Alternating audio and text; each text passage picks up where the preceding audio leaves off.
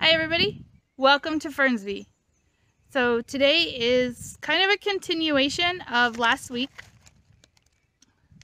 I have brought with me a bunch of dandelion seeds. I have a couple more bags. I've been collecting them throughout the last two weeks really.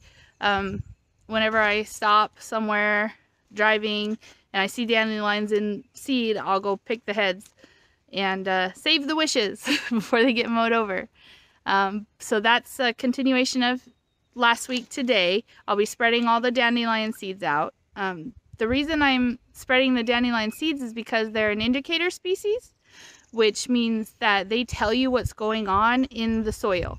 Dandelions specifically are calcium accumulators. They have a very deep taproot on them, like a carrot. And it goes deep down into the earth, reaches down into um, the mineral layer, and pulls those minerals up and then carries those minerals throughout the plant in its leaves and its flowers and when they die back the other plants can then reach that calcium or other minerals that they normally can't reach because it's too deep for their roots. They occupy a different space. So dandelions in your own yard will do two things. They tell you that your soil is low in calcium and also that it's very compact. That's why you see dandelions growing in sidewalks because I mean, is there anything really more compact than concrete? So uh, what I'm doing, we have a lot of rocky soil. I'm spreading dandelions. They're great food for bees. As long as you don't spray them with pesticides, they are edible to you too. You'll even find dandelion greens in certain salad mixes. So they're a really good plant to have. They are considered a weed, but that's because they don't grow in rows. They spread around in circular patterns. So that's what I'm doing right now is spreading some seeds. We um, have been putting, you can see them over here, the elderberry field. We've been putting plastic bottles on all the flags marking the plants and that's because every day when it's humid in the morning the bottles collect that humidity and allows it to drip down to the plant. So every morning they're getting a little bit of water which is helpful for new establishing plants. And also I think the sound that they make is keeping the deer out of them, which is good. We'll see as they grow if the deer start to get brave. But right now, I think the sound of the plastic makes them nervous. And we're seeing deer signs and tracks around, but not in the elderberry field, which is good because we definitely don't want the deer eating them. So next, after I finish spreading the seeds, we are going to get into the beehives and add um, some more supers and uh, foundations in there with a little bit of wax, whatever we've got left basically from the bear eating everything last year. And we're asking our bees now to draw. So we will also be feeding so that they have enough wax, um, they can make enough wax to draw out that foundation, get that beautiful comb, and we can start really getting to work on our honey season. So we did that last week and we're gonna do it again this week. So stick around. I'll try and get some cool footage of the dandelions in the wind and uh, yeah, see what happens. So this is a really rocky patch of soil up here on the hill. So I know my dandelions will like this and so I'm gonna have more success by putting them up here.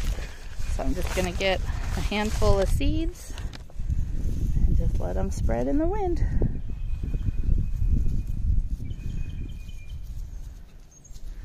I think this bag I actually collected on a day that uh, they were mowing. So I was trying to beat the landscapers to the seed heads. So if some of them come out in tight clumps, we'll just toss them out and that's fine.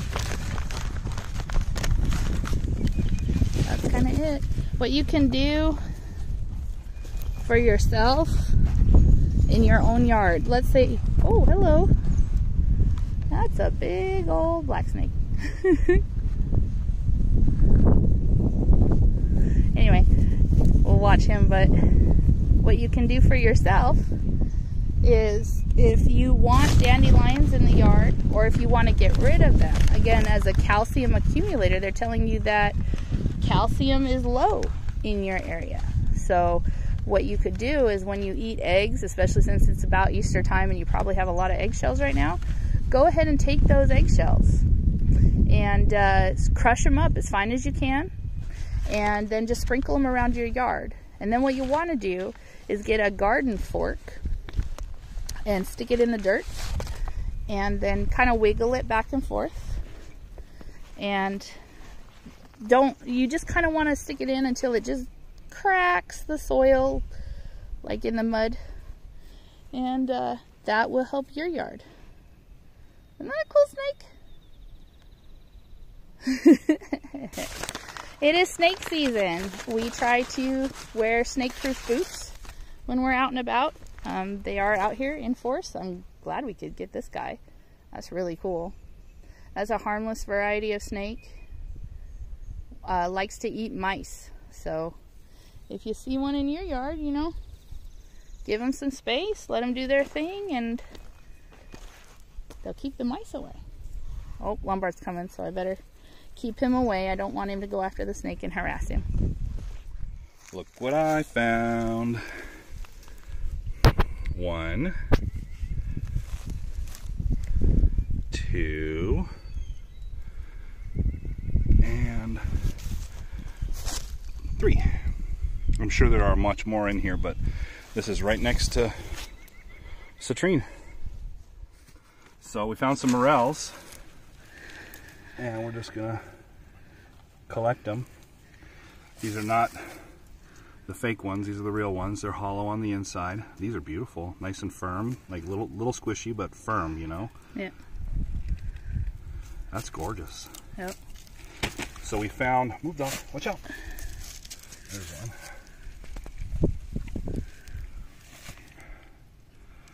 We these we found. I saw these three, and Brittany. Here's three. Here's, here's one right here. Two. Two. Yeah. Oh yeah. Look at that. Look at that. That's beautiful. Mm -hmm. It's our understanding that you want to get them like the day or two days after rain. Um, last year, this time around Easter, that's when they start coming out, and you might give it a little shake before you put it in the bag. Just ideally, I would have a uh, oh, like a laundry sack, kind of a mesh bag. That way, as we're walking and moving, there's a spider on that one over there. Oh, I see it. Um, as you're walking and moving, they'll drop their spores, and then you'll get more morels. Um, that would be ideal, but you know, we use what we have. This is exciting. So yeah, tonight we're gonna um, have some morels. They'll need really good, really cleaned really well. that. Yep. Sorry. That's okay. And All right. So how to tell a morel? There, uh, from what we've been told from mushroom hunters, morels are a great mushroom to start with when you're out hunting mushrooms. There's two right there. He's sniffing. Um, because there's really not a lot of mushrooms that look like them that can get you in trouble. Just the one. Yeah, there is a false morel, but it does look different. And so between the morel and the false morel, you're looking for this head that you've seen, this like spongy head. And then what you want to do is when you, this one right here, is you want to um, make sure that it's got a hollow stem. Like that? Yep. Because the false morel will have a um, closed stem. The so, fence is off, right? Yes, the fence is off. so there. Look at that. That's so exciting. But yeah. Look at that. Look at that. That's quite the little sack. Look at, oh man. That's exciting.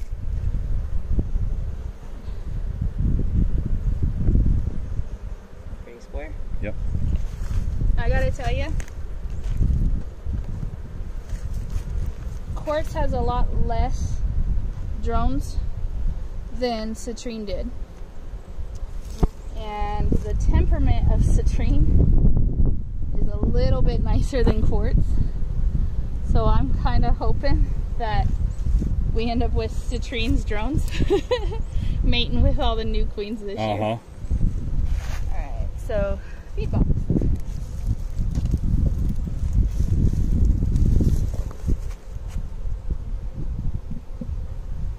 Good job.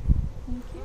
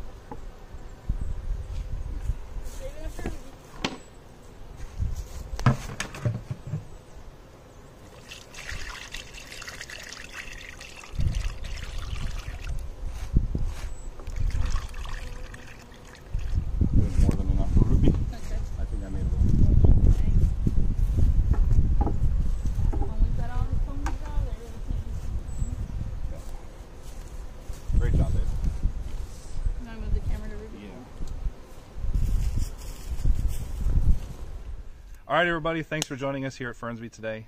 Uh, we had a great time. It's such beautiful weather. I mean, it's hard to complain, even when you're doing hard work. Uh, what did we do today?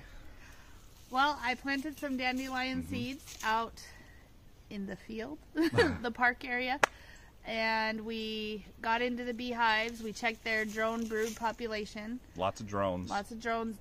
Uh, we did find emerged drones in Ruby, but mostly in Citrine we found drone brood. Yeah. So, um, kind of what we expected to find, over what we've been seeing over the last few weeks. And they are starting to dry out the comb and repair the comb that was damaged during the um, bear attack, bear incident. Yep, yep. And they'll continue to draw it out throughout the honey flow, the, the, the nectar flow during the honey season. So, I mean, we're just getting a head start, This really, on, on the on that. Yep. I feel like we did something else. We walked up and saw all the trail cam. Well, changed out the SD cards on the trail cams, and Saw a snake. saw a snake. Yep. That was fun, Yep. Not a bad one. A good one. A one of the snake. black snakes. right? I think that's everything. Yep. Like, share, subscribe. Uh, follow along with us and uh, let us know what you like and what you don't like so that we can, you know, make content you enjoy. I know that, you know, we're doing what we do. So let us know what you want. Oh, the morels. Yeah, the morels. The morels were a big thing. Uh, so we will research some recipes on the way home. We've had some deep fried ones that were kind of like fried chicken, like in yeah, process. they were tasty. Um, they were tasty, and we'll see if that's the way we want to go or if we want to cook them a different way. But we'll try and share that with you. Um, and uh, yeah, I think that's everything. Like, share, subscribe, comment below. Um, you know, engagement always helps us, so we appreciate it a lot. We love you guys. Thanks. Have a good day.